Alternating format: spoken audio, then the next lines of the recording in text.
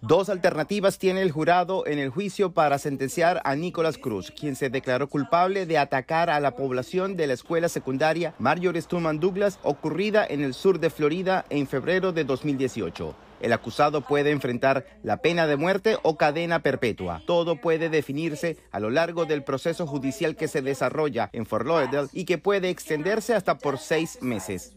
Les voy a hablar de lo innombrable del asesinato intencionado, planificado y sistemático de este imputado.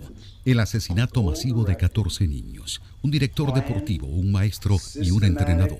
El fiscal Michael Satt, en su primera exposición este lunes, describió con mucha precisión la cronología del ataque dentro de la escuela, incluyendo detalles de cada asesinato. Posteriormente, sobrevivientes de la masacre han rendido testimonios.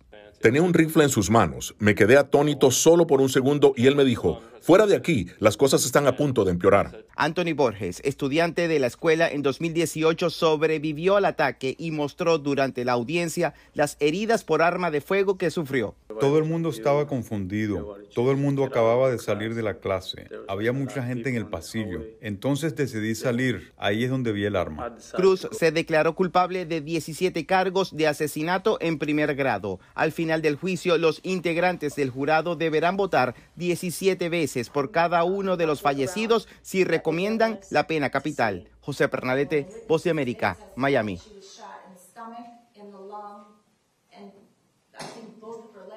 and you're arguing that that's not